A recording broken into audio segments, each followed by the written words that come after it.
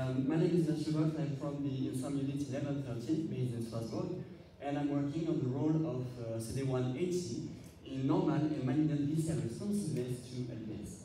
So CD180 is an atypical toll-like receptor uh, that, is, uh, that has a differential expression between normal in red and uh, malignant B cells in green. And uh, my work aims to determine the interaction between CD180 and LPS on primary B cells, and then to describe the subsequent activation of B cells by comparing normal and malignant B cells.